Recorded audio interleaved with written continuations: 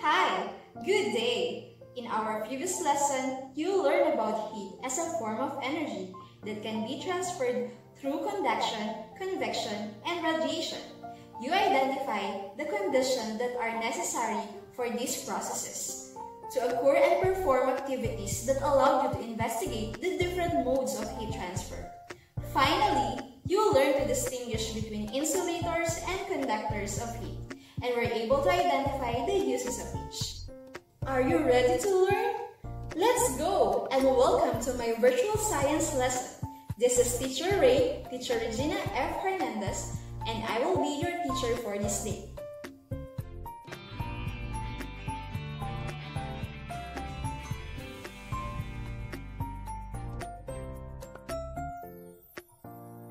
Now, you will learn about another form of energy which we encounter in everyday life, which is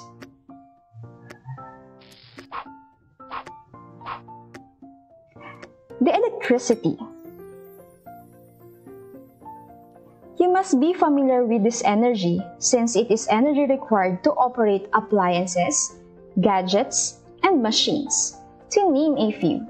Aside from these man-made devices, the ever-present nature of electricity is demonstrated by lightning and the motion of living organisms which is made possible by electrical signals sent between cells. However, in spite of the familiar existence of electricity, many people do not know that it actually originates from motion of charges.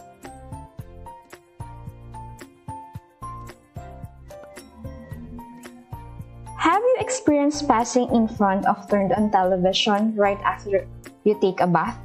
What did you feel? How about playing a newly bought plastic cover in your hair? What happened to the strands of your hair?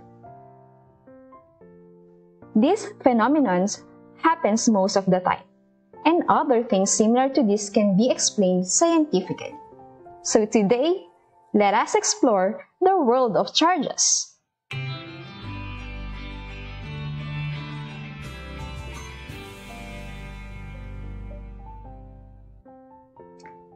Allow me to read first our lesson objectives. Identify the different types of charges and describe how objects can be charged. Let us tackle first electric charges. All of us here in this world are made up of atoms, and atoms have subatomic particles, which are the protons, the neutrons, that found in the nucleus, and the electrons, which is located outside the nucleus.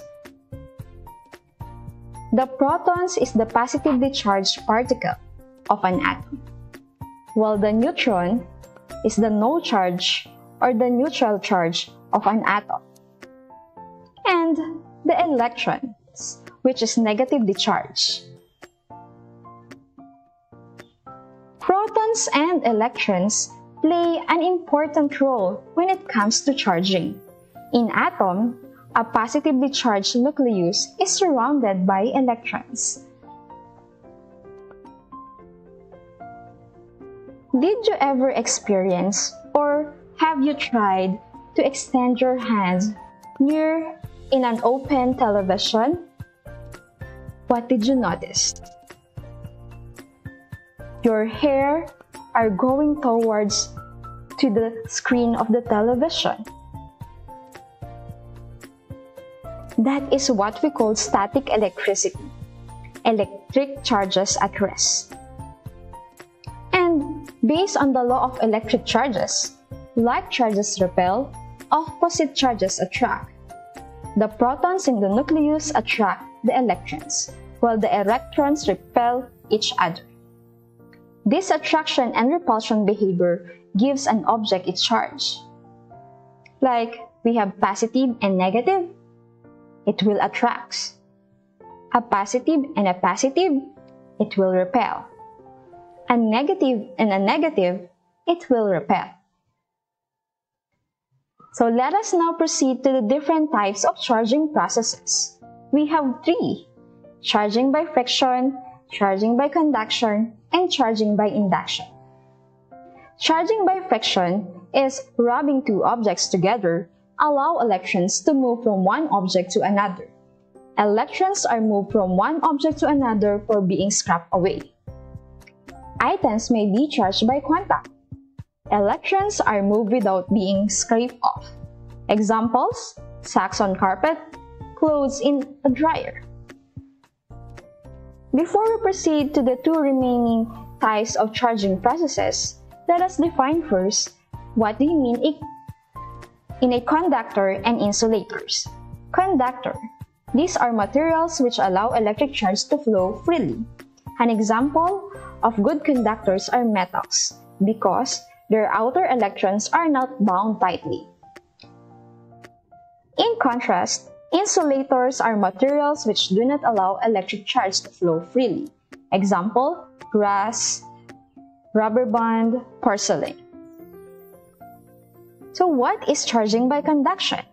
Conduction is the transfer of electrons from a charged object to another object by direct contact. If a negative object touches neutral body, electrons will spread on both objects. Both objects become negatively charged.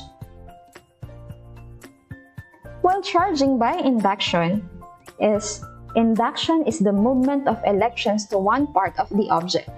Induction is the charging of an object without contact.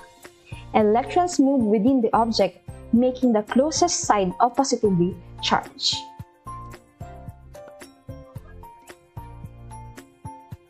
You're done learning about the different types of charging processes.